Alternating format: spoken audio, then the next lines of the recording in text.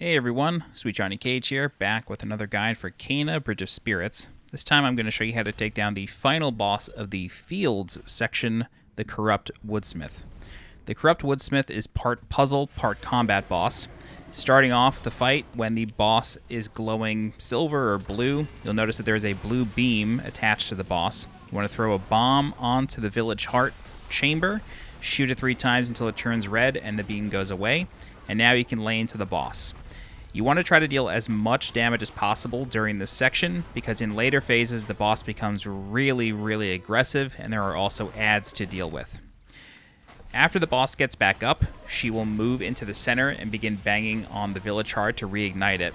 As this happens, rings of fire will be emitted from the center that you need to jump over. However, as this is happening, until the second she turns silverish blue again and that shield reappears, you can still hit her.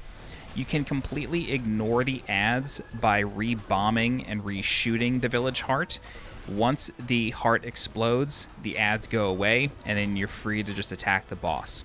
So that's what I recommend doing. Just don't even bother with the ads. Don't give them any time to even approach you. Just go for the gold with the village heart. Once the heart has been replenished again and resealed in its chamber, you just rinse and repeat now. At this point, we're sort of in like phase 2.5, but we just have to bomb the chamber one more time. Unfortunately, that ad jumped in front of my bomb, but luckily I upgraded my capacity to 2, so that helped. So we're just waiting for the bomb to explode, and we're going to shoot it three times again. Make sure to jump over the fire ring, and then with this third attempt, the boss will kneel again, only for a split second, and then it jumps into the center, and now it's going to become fully empowered, and we're going to enter phase 2. In phase 2, the boss now gets a sword and hammer, so she's basically just going to be dual wielding the whole time. And this is where things get really crazy. This is why you want to try to deal as much damage as possible in phase 1. So from here, the boss has a number of attacks. She will no longer ever be shielded, but you want to try to keep your distance from the boss while peppering her with arrow shots. That's really the best strategy I can give you. Try to build up courage with re repeated successive shots. Get some melee in there, but then you want to use your rot arrows, the empowered rot arrows, to deal as much damage as possible. You can aim for the center mass. It did look like there was a courage point in there. I'm not sure if I ever managed to actually hit it. Um, I could be wrong about it being in there, but it certainly seems like it. It could just be a heart of fire, though, now that I'm thinking about it. Sometimes the boss will jump around. When that happens, she will stomp on the ground, and then rings of fire will come out. So we're going to shoot her with a rot arrow here.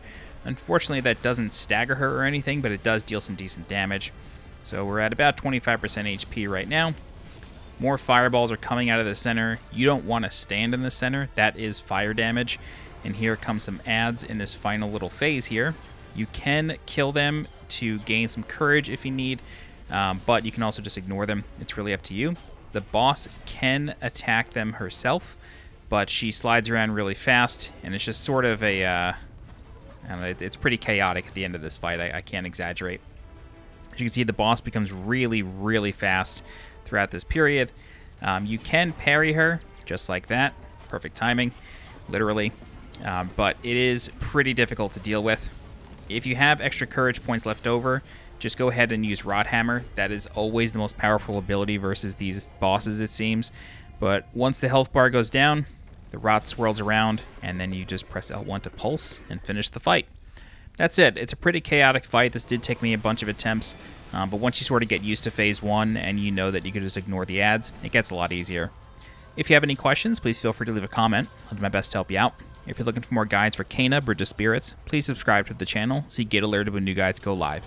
If you're interested in supporting the channel monetarily, please consider becoming a channel member by clicking the blue join button below this video. Don't forget to follow me on Twitter and join my Discord. The link for that is in the description below. I'm Sweet Johnny Cage. Thanks so much for watching, and I'll see you next time. Bye-bye.